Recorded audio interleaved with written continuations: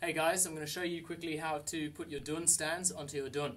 First of all, you want to put your dun upside down to the way that you want to play. Choose a side that you think sounds best and then put that side on the ground. This is the easiest way to get it all set up. Then what you're going to have is make sure that all four of your legs, or three depending on what size dun you have, have our strap threaded through this metal loop, like this. Then, very straightforward, we're going to come right to the edge of the dun here, and if there's any rope wrapped around the verticals, you can move it out of the way, because what we need to do is get this little metal lip tucked in between the skin and this little ring loop. So I'll do that here.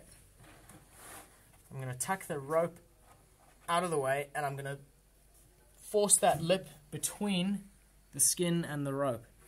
And that's where it's going to sit, like that. Then um, these little grips here, I'm just going to squeeze verticals so that they can be gripped by these little claws. And the same again this other set here, I'm going to just tuck them in until they're hooked in like that. Then what I'm going to do is I'm going to repeat that process on all the other sides of the duns, spreading them, spreading the stands out evenly so that I get a nice secure base.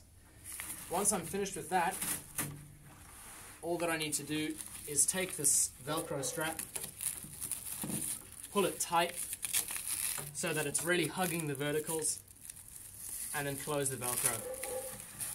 And what you should end up with are four or three nice, straight, secure legs. So when you turn your dun over, there it is, ready to go. Thanks.